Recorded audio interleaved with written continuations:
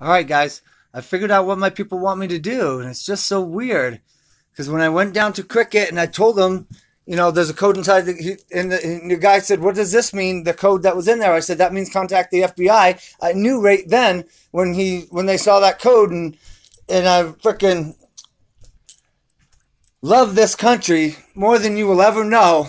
And I'm not out to kill myself. I just built a lot of things that I wish I had never built because they're using them to destroy our own people and surveil our own people and do things to manipulate people and hurt people and gang stalk people. And no, that's just not right, man. That's just, just not right.